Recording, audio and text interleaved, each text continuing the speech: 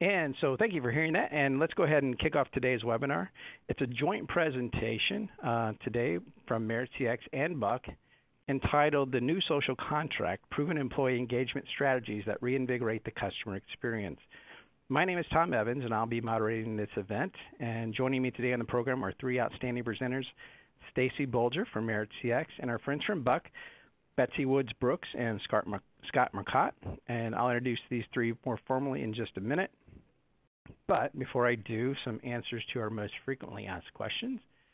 And those are, is this webinar being recorded and will there be a time for Q&A at the end of today's presentation? The answer is yes. The event is being recorded and you will receive a link within 24 hours of today's presentation. And if you'd like to ask a question during today's webinar, uh, simply type it in that question box on your screen and I'll do my best to get that in front of our presenters during that time. Uh, so let's uh, go ahead and meet our three presenters uh, for today. Uh, and kicking us off will be Stacy Bolger. Stacy serves as uh, Vice President Employee Experience for Merit CX, and in this role, she provides vision and guidance to MaritzCX clients, helping them with solution design, go-to-market strategy, and sales enablement. Her ex expertise offers clients a holistic employee experience solution that is dynamic and supportive of their people strategies and initiatives. Uh, prior to joining MaritzCX, Stacy spent 15 years in leadership roles as a CX and EX practitioner. She has a business degree from Marquette University in Milwaukee, Wisconsin. She is on the board of directors for the Western Wisconsin Juvenile Diabetes Research Foundation, and she is a member of the Customer Experience Professionals Association, the CXPA. So thank you, Stacy, for joining us today. And now our friends from Buck, we have Betsy Woods Brooks, and Betsy is principal is a principal in Buck's engagement practice, where she works with clients to develop and implement end-to-end marketing communication strategies aimed at improving the well-being of employees and their families. She has extensive experience in all aspects of communication and change management, from employee sensing to media strategy and messaging, all the way to implementation and measurement. She holds a Bachelor of Science degree from Sacred Heart University she is Six Sigma Green Belt, and she is certified in Total Quality Management, TQM. And then finally, we have Scott Marcotte with us today. Scott is Buck's Chief Technology Officer, and for the last 29 years, he has helped organizations solve human resources challenges through the strategic use of data, communication, and technology. He holds a Certified Employee Benefits Specialist degree he has co-authored a book on employee engagement. He was named Xerox's Innovator of the Year, and he is a regular presenter at global HR conferences. Uh, and in his spare time, Scott leads Northwestern University's efforts on alumni engagement. He serves as president of the Illinois Illinois Fatherhood Initiative, and then of course, um, he's why not? He's a press box play-by-play announcer for the Chicago Bears. Uh, so thanks for squeezing us in, uh, Scott. That's great. Um, so that's a little bit about everybody. All of our speakers are highly qualified presenters, and with that, I am going to turn it over to Stacy Bolger from Merit CX. Thank you, Tom, and good morning and good afternoon to all of you wherever you are joining us from today. Uh, we are so glad to have you joining us, so thank you for taking time out of your day to do that. All right. So I was on site with a client yesterday, and this client has been doing this CX thing, quote unquote, right, for over a decade and has programs across their organization that are actually quite mature and very impactful um, on the on the uh, ability and growth of their organization. And we were discussing what's what was next for them, particularly given that they're a very data rich organization. And we found ourselves speaking uh, about the, the bulk of the time, in fact, that we spent was about the connection between employees and customers. And so for the next 60 minutes, we're going to entertain a similar discussion here with you. And as customer experience or CX professionals, it, it may feel at times a bit employee experience or EX heavy. But I encourage you and challenge you to hang with us um, because this EX lens is one that is really critical for us to understand if we're truly going to take our CX programs to the next level. So it's not usual for organizations, as we, and I think we can all relate to this, uh, to be committed to understanding the role not just of customers, but also the role that employees play in driving business outcomes. But more often than not, and I, I would expect if I was sitting in a room in front of you, I might see some head, heads nod. This is done in a very siloed fashion. And as an industry, we've been talking about the relationship between employee engagement and customer loyalty for many, many years, as we can see here, uh, the mid 1980s being referenced. Uh, and even recent data uh, from Harvard Business Review, Review excuse me, suggests that uh, when organizations have both engaged customers and engaged employees, uh, the, they are going to reap the benefits in, in key business outcomes. And in fact, uh, Merit CX uh, was also on the forefront uh, of recognizing that engaged employees drove better business results. Um, across our family of companies, uh, we see that the business model of several of our companies is based on this idea, this notion of understanding and leveraging what drives and motivates uh, human behavior within the workplace. So I have to ask then why, if this concept of happy employees equals happy customers and vice versa very often, if it's not new and it has been around for well over a quarter of a century, why is it so difficult to get right? Customers and employees are distinct constituencies.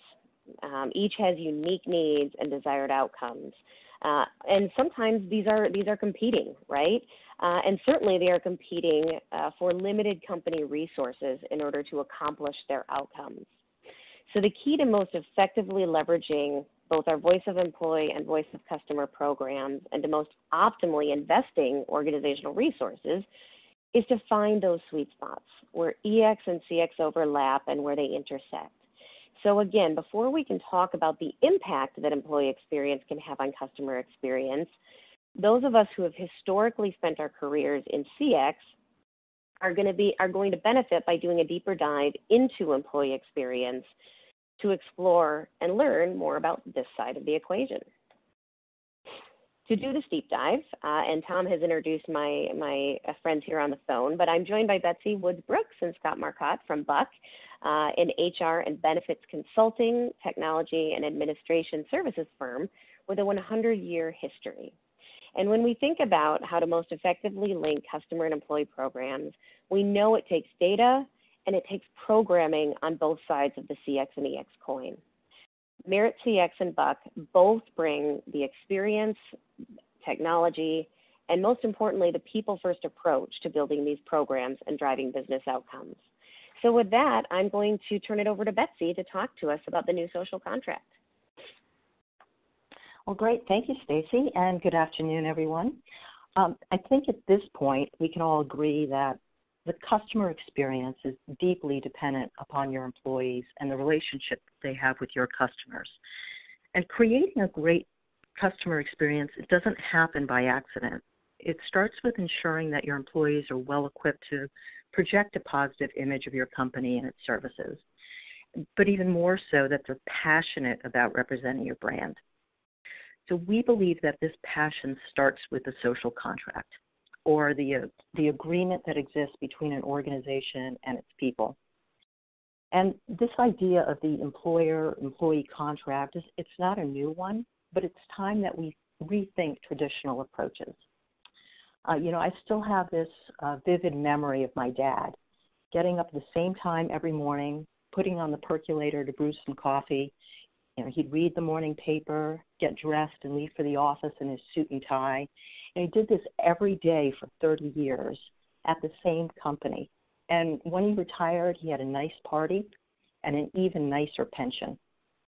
But of course, today things have changed. Uh, people have, on average, 12 jobs over the course of their careers. Corporate cultures are more casual to meet the needs of a very diverse workforce. Uh, technology allows us to work when and wherever we want, and pensions are all but gone. So it's time for companies to take a fresh approach and define a new social contract. So here's how the new social contract works. It starts with companies investing in their people through programs and resources that attract the talent that they need to achieve their business goals.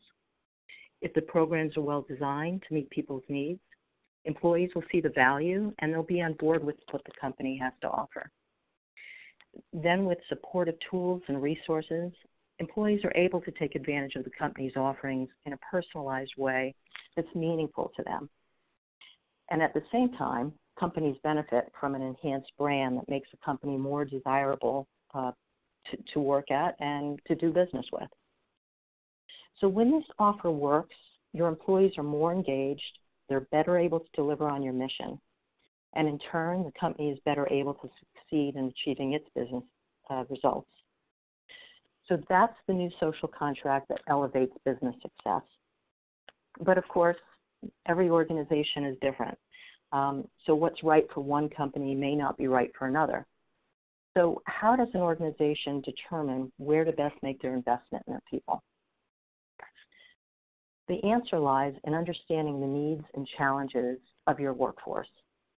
So Buck conducts a global uh, working well study of employers around the world. And this research provides insights about the top issues facing the workforce today. So I'll just share a few of the, the highlights from our research. Um, our first finding falls in the category of physical health. Um, employers are reporting that stress is the number one issue facing their employees today. Um, as we know, stress is linked to all sorts of health issues um, anxiety and depression, back pain, cardiovascular issues, and, and much more. So, the direct cost of stress and related health conditions, as well as the indirect cost of absenteeism and lost productivity, is staggering. So, it's really in the best interest of companies to look for ways to alleviate that stress, provide support for mental and emotional health, and teach new techniques for resiliency.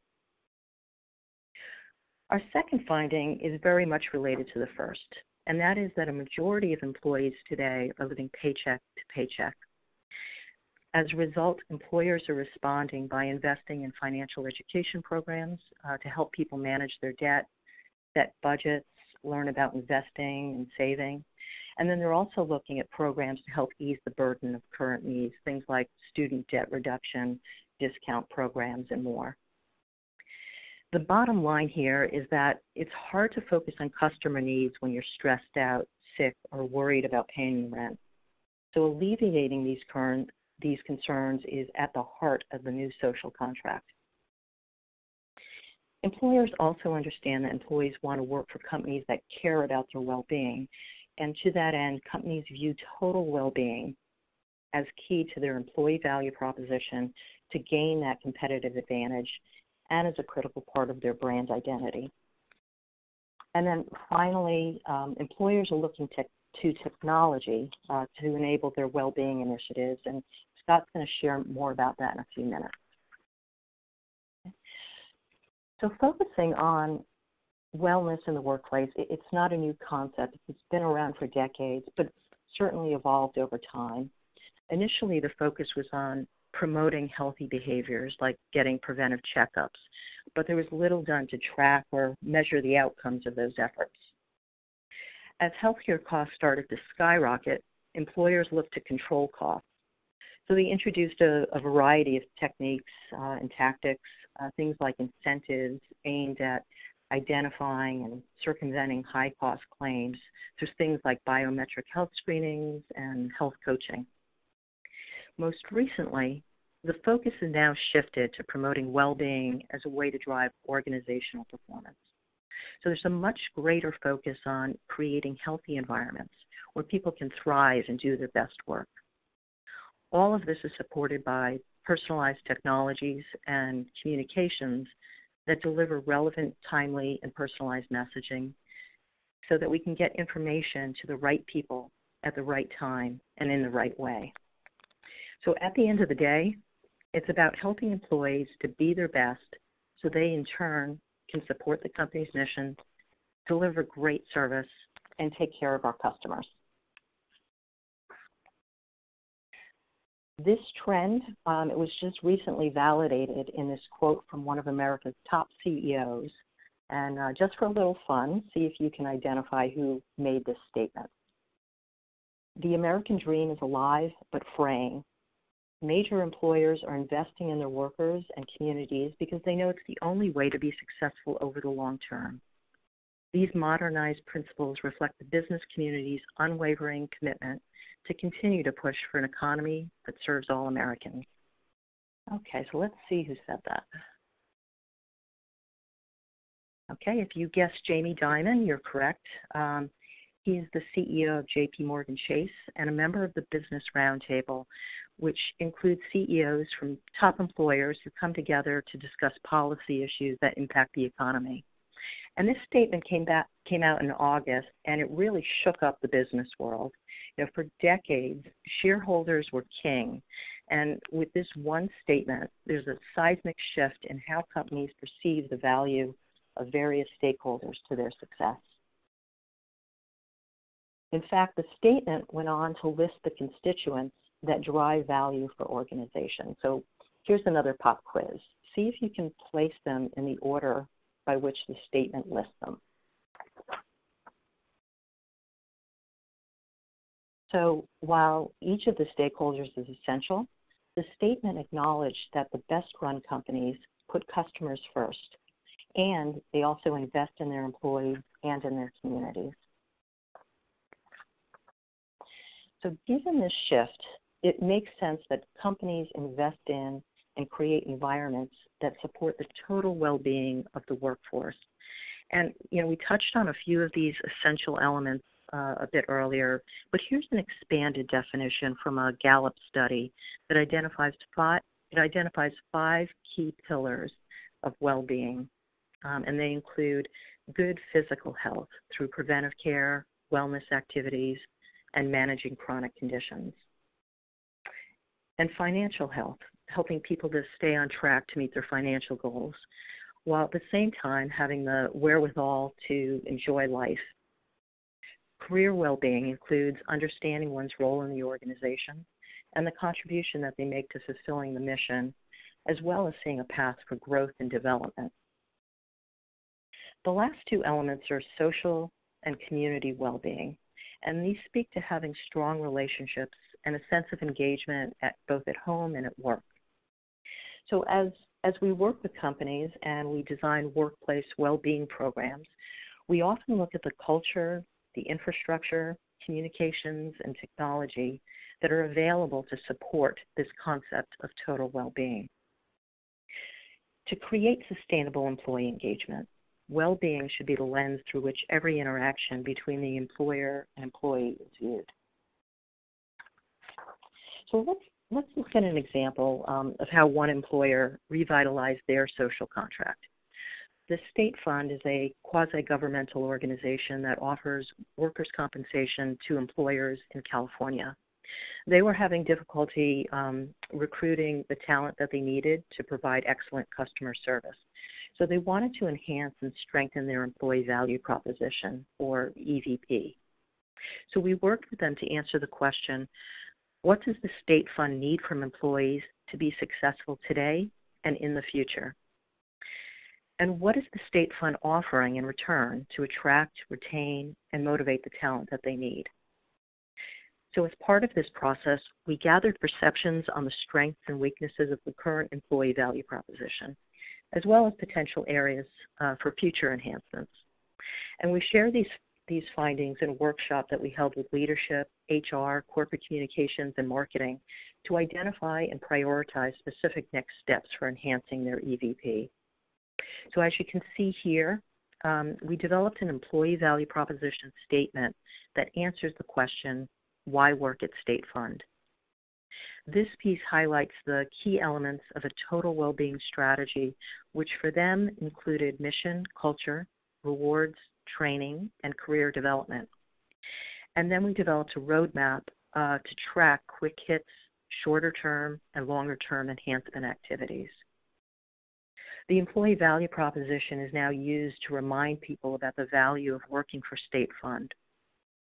It's also used by their recruiters to attract the talent that they need, and it's used to encourage their employees to deliver the brand promise to their customers. So at this point, I'll turn it over to Scott, and he'll tell us more about making the social contract come to life. All right, thanks, Betsy, and hi everybody. Uh, State Fund is it's a great example of how to make that social contract real. So thank you uh, for sharing that, Betsy. I'm I'm going to take these next few minutes to talk about more of the process on how to make that come to life for your own organizations. And I want to reinforce a, a key point that Betsy covered up front that it's, it's truly all about helping an individual achieve their own health, their wealth, their career goals. If we can do that, we know the individual thrives, and so does the organization. So, in order to uh, you know really get that and, and help it come to life, we know to to reach that audience, to engage that audience, we need to make that experience for them truly personally relevant. We need to understand what motivates our workforce, what's meaningful to them. Even the channel and the tone becomes so critical. The more we can make it personal, the more impact we're going to have. So, market segmentation gives us a, a great place to start in understanding our internal audiences and, and moving to that personalization. So even if we look at just generational segmentations, we, we have five in the workplace now. This uh, graphic gives a, a great perspective on, on how the U.S. workforce is morphing and really how quickly it's morphing as well. We, we've heard for so many years about the rise of the millennials, the Gen, Gen Yers, and also the Gen Zers who are quickly following. That you know, they're they're coming into the workforce in a big way. Well, they're they're clearly here and they already represent nearly half the workforce in America, which is just staggering. For roughly three decades, you know, this, the Boomer and Gen Xers have had a conspiracy in many ways on, on using email, using conference calls to get work done. That that classic version of work that Betsy's dad enjoyed for so many years, it's changing. You know, that that paradigm is shifting now and we're seeing Slack and Microsoft Teams and other work collaboration tools driving a, a different way that people work on a day-to-day basis. So, how can we as employers predict this impact that these generational shifts are, are having on our own organizations and accounting for the needs of all these different uh, generations within the organization? How will we know what skills are retiring as the boomers retire? As the Xers ascend to senior management and as the millennials and Gen Zers take over the uh, workplace. Yet we believe it's critical to mine our own organizational data to better understand these audiences and create experiences that both resonate and are personally relevant to deliver on that social contract that Betsy talked about. So how would we go about analyzing it? You know, this this slide's a lot of information, but it gives you a bit of a feel for how we might review the issues, review the needs, review even the intervention opportunities for various segments within our workforce. Uh, this approach uh, we'd suggest taking would, would be to look at your current workforce split, understand where it is now, and project out that likely split over the next few years as well to get a sense for how the dynamics within the organization are changing. Then we'd suggest looking at how these various segments consume your rewards programs specifically.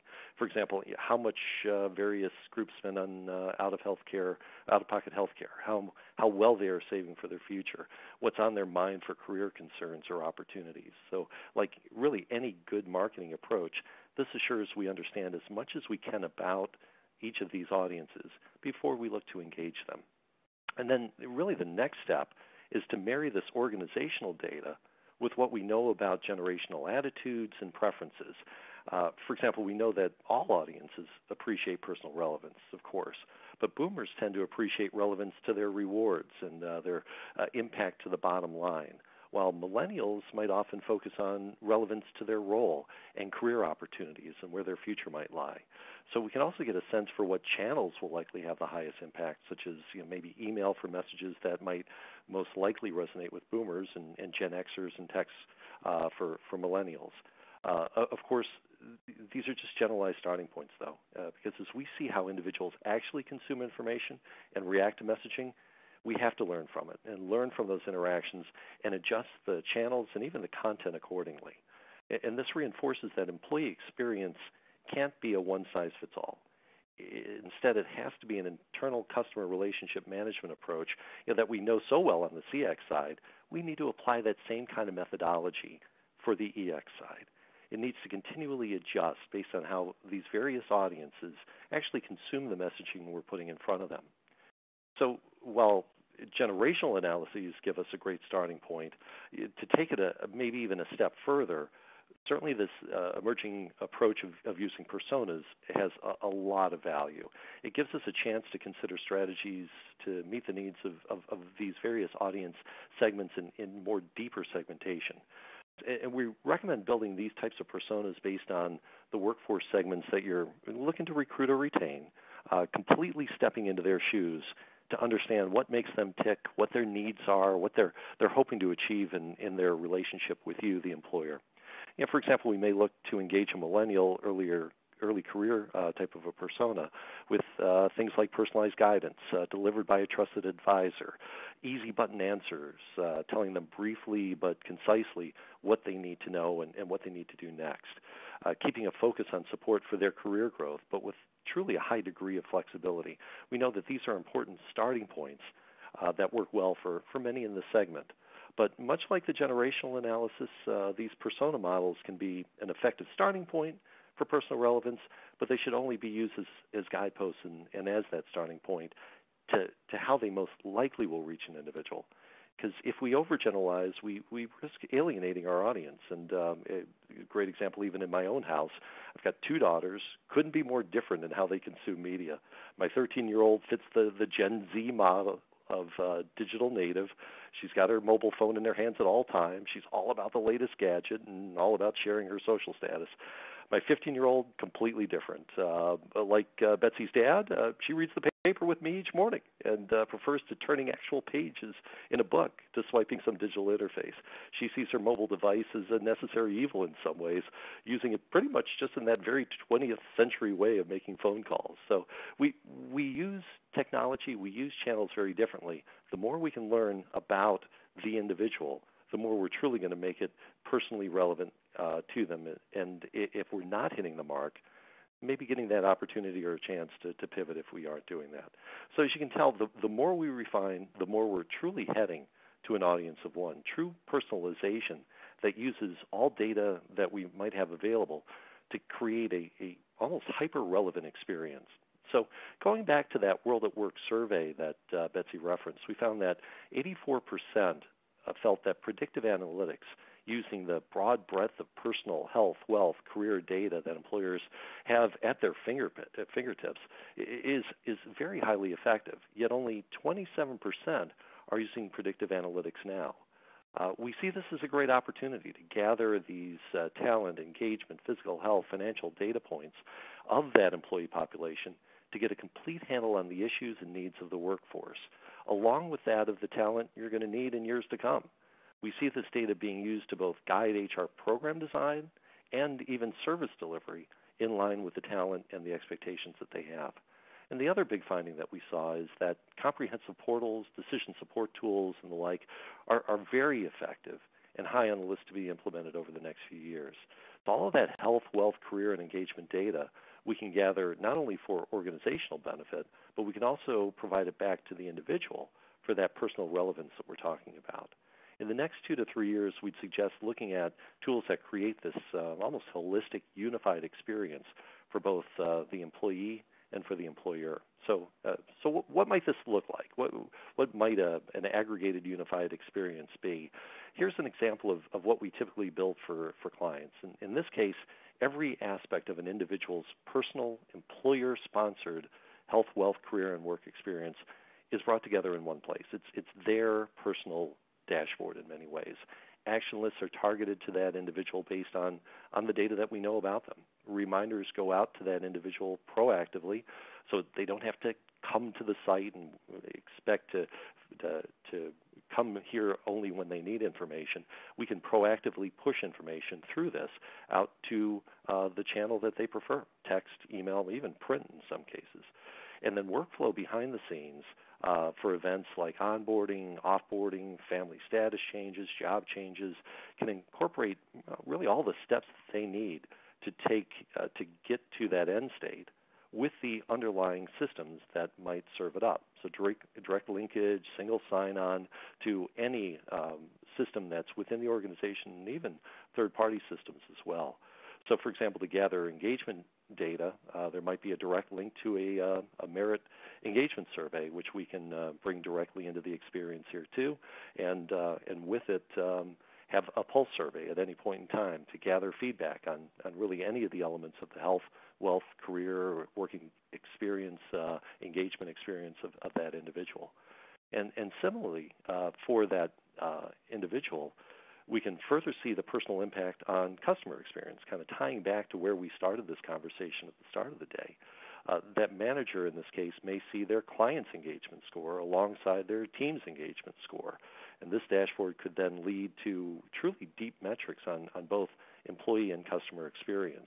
You know, and some of those metrics here um, might be a service center manager, for example, seeing seeing the impact of her team's engagement scores and how those scores correlate with the engagement scores of the clients that her team serves.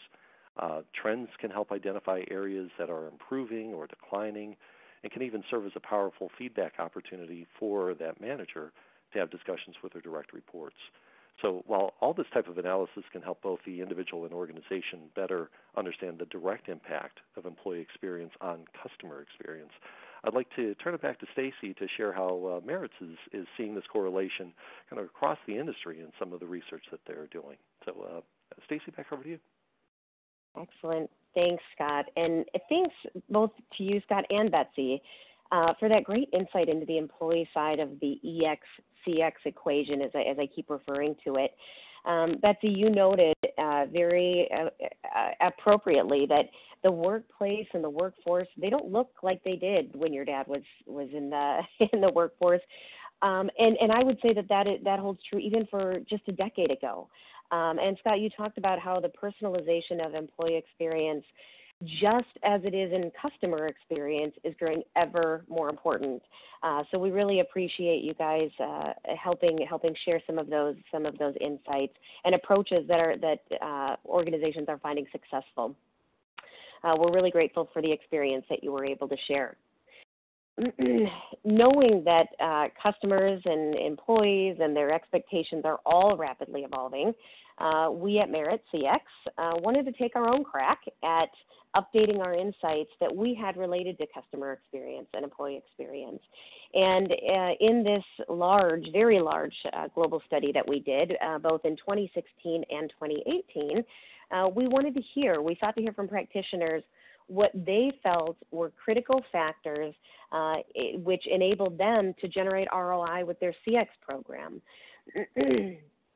so, lo and behold, probably not shocking to anyone, people, uh, employees, emerged as one of those key factors. Um, but even more interesting, uh, in fact, was the key finding that not a single factor or a single key capability could affect ROI and CX as much as the right combination of factors um, and, and some of which you see here on the slide when we're talking about the organization's uh, CX strategy, business strategy, uh, processes, and the enablement of employees to execute on that strategy. So not only is EX critical to CX success, but it's also interwoven uh, with other key drivers of CX uh, success. So, what this means, uh, really, at the end of the day, is that employees and their engagement, and in fact, their full employment experience, is an inherent part of all things CX and must be treated as such instead of uh, as, as part of its own silo. When we conducted this study, uh, we also found that uh, companies fell into essentially one of four stages of CX success. Some, uh, you know, just beginning their journey to organizations who were truly proactive and innovative in the way that they approach the experience of their customers. And we've hopefully at this point made the case that customer experience and employee experience are inextricably linked, right? Therefore, it probably doesn't surprise you that when you look at those companies that are most successful in their CX programs, nearly all of them are leveraging voice of employee as a part of that holistic program. And it makes logical sense right? Uh, if if employees, I said this earlier, if employees aren't happy, customers aren't happy, and often vice versa. And our study uh, was able to quantify that relationship between a, a customer and employee NPS as well.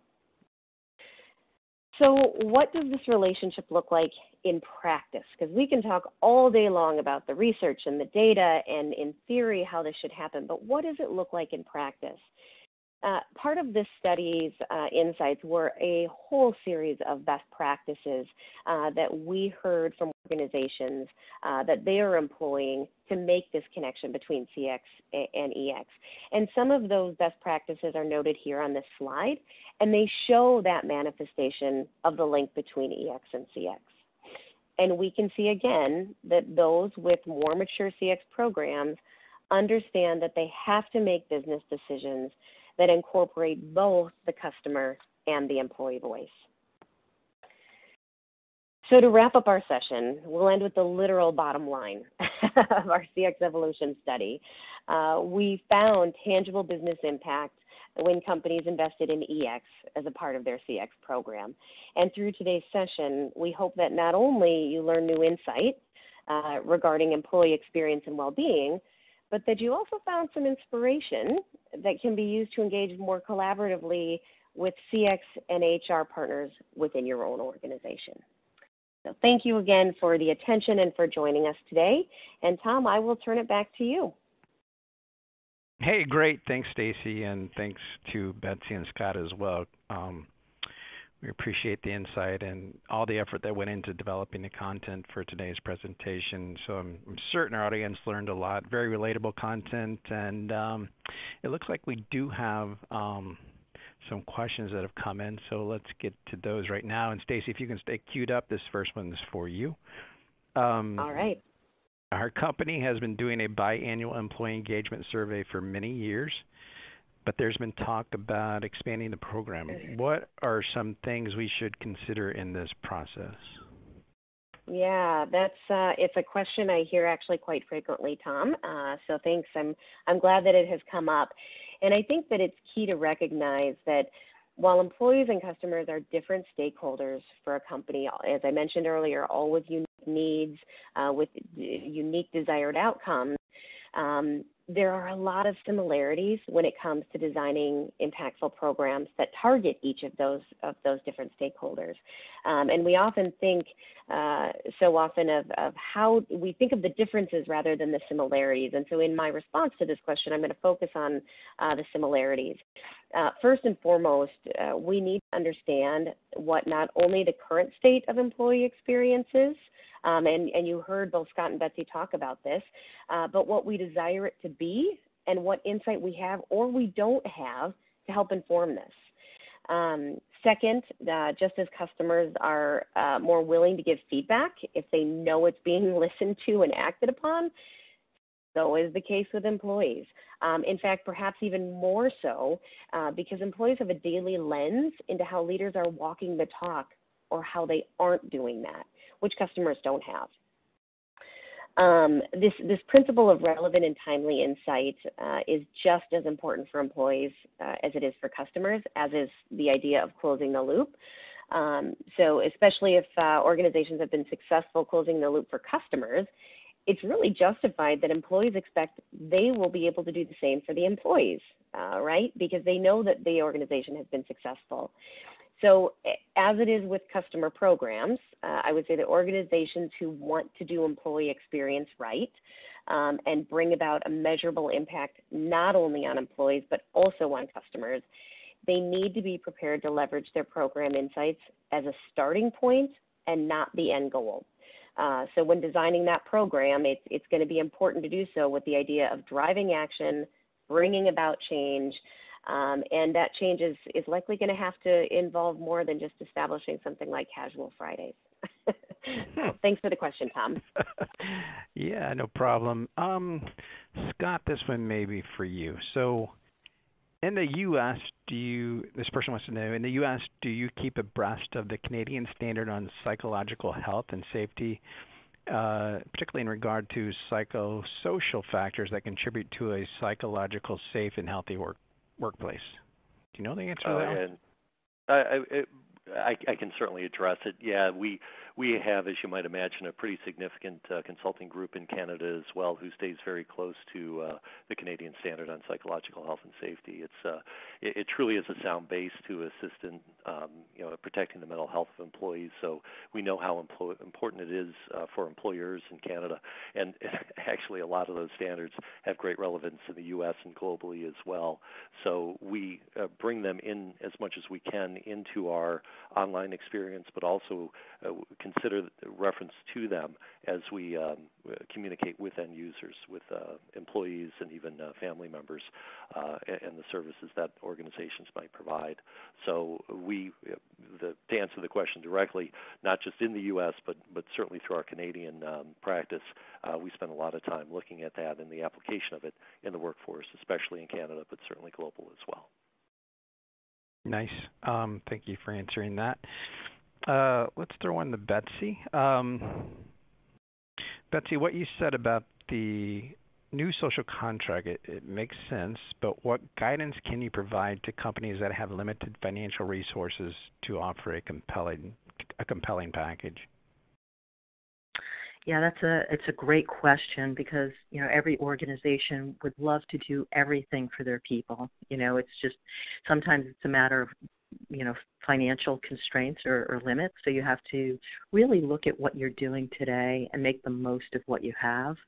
Um, you know, I, I guess one piece of advice I'd, I'd give is to inventory all of your plans and programs and you know, make sure that your managers are equipped to help promote them. Um, not that they need to be experts, but frequently people aren't aware of what's available to them. I can't tell you the number of times I've done focus groups with employees and they're just not aware or familiar with everything that that is currently available to them. So help your managers be supportive of your message. Um, another issue sometimes is just reaching people. Um, you know, we've worked with organizations that have, you know, seemingly done a great job of communicating their plans and programs, but when you talk with employees, they're still unfamiliar with them. So you need to understand the best way to get that information into people's hands.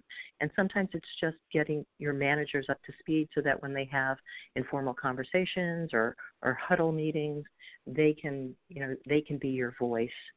Um, another thing I would say is, again, related to communication, is sometimes it's just the way you package and communicate a program that can have a, a great impact on um, you know, on your uh, on understanding of, of what's available.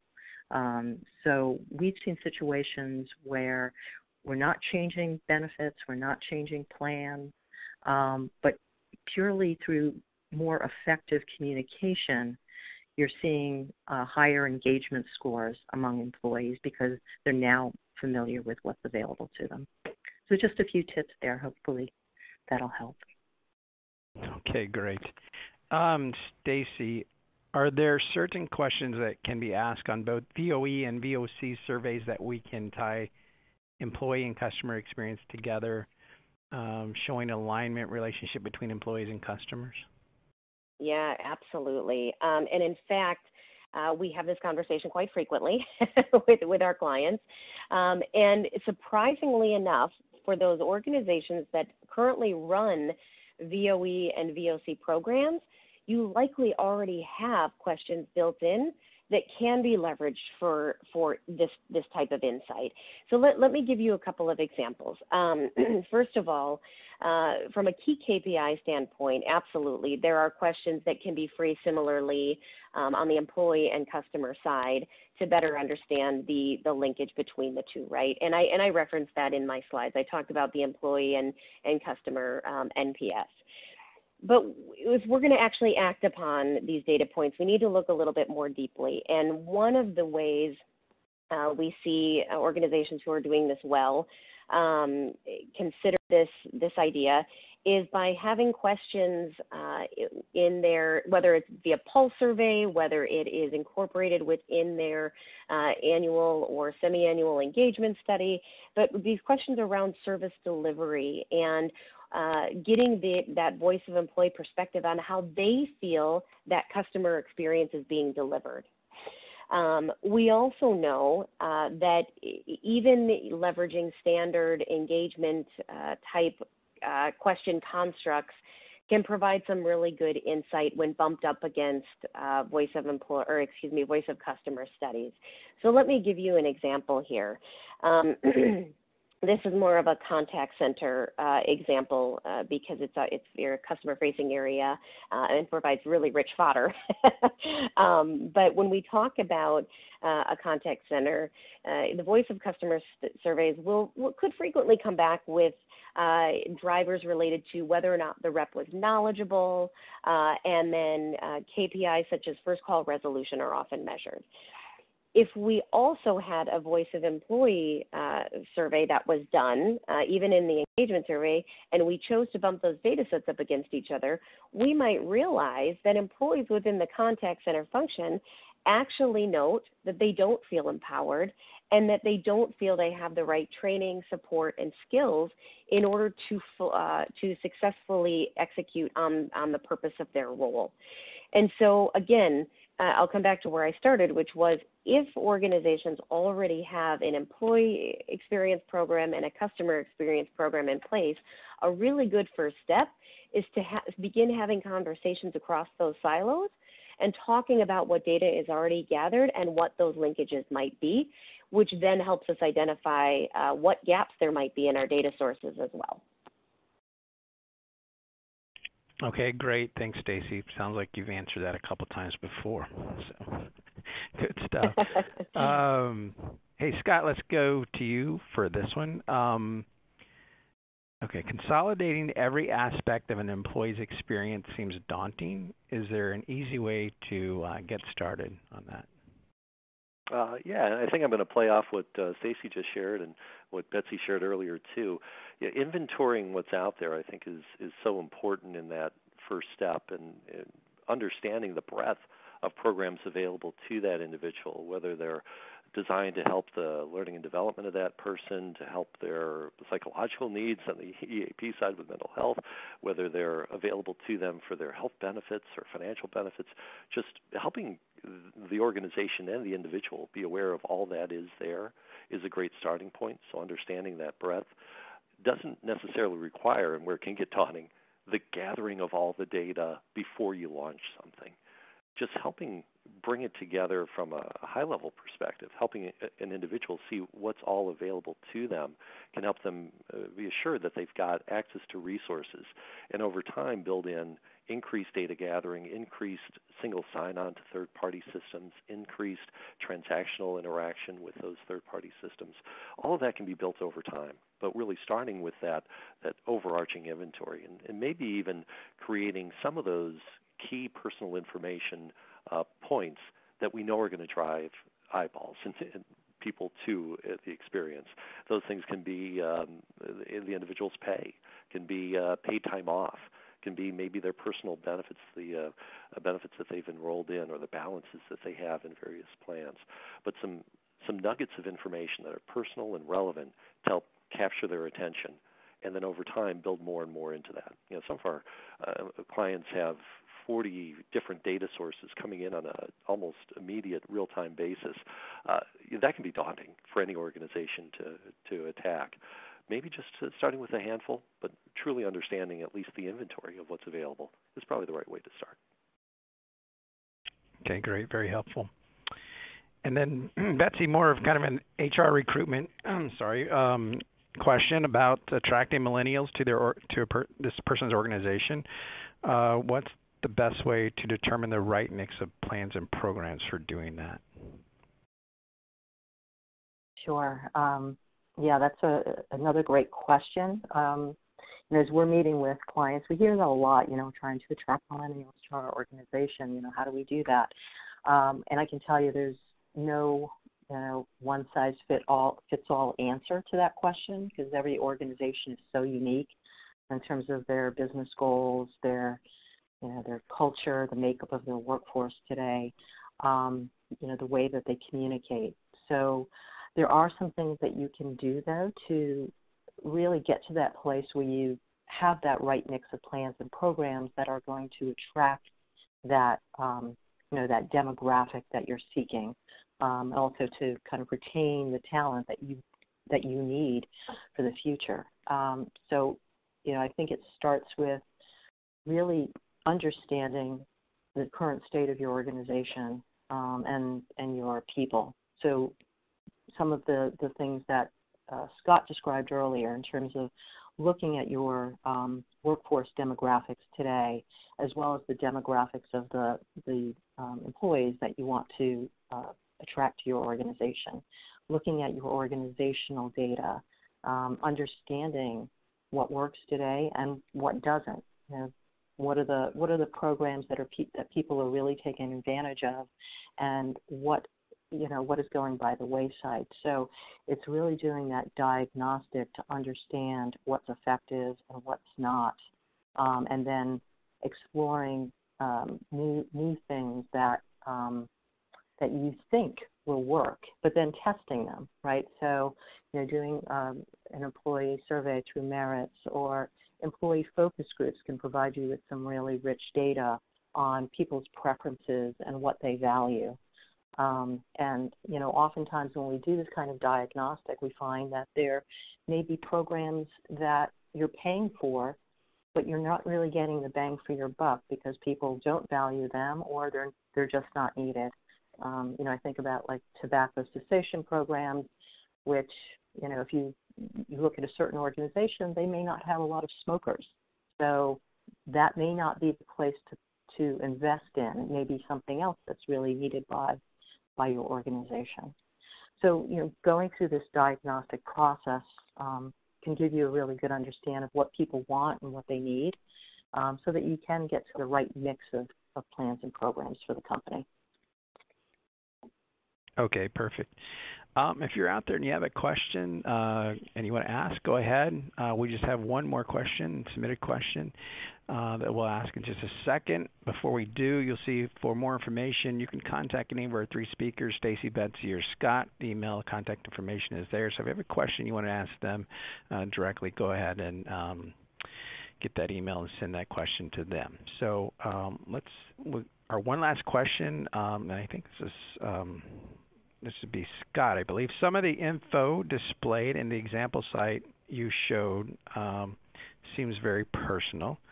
How do you overcome trust issues? Uh, yeah, that's a, a good and tough question. Yeah, the, the trust consideration. You know, we I think we all know that trust is earned. It's not something that's uh, expected. It, it's something that the organization certainly already has to have to some degree with their employees, and uh, and with trust, you can provide uh, more and more information. And I know this is even a, a challenge in the the CX side. How personal is too personal? How far can we go? Obviously, to the extent we can help that individual help themselves achieve their physical, financial, professional, uh, social goals, obviously it's a, it's a great win for them. The fact that we have so much data on behalf of that individual means that there's almost an obligation on our end to provide it to them so that they are making informed decisions around it.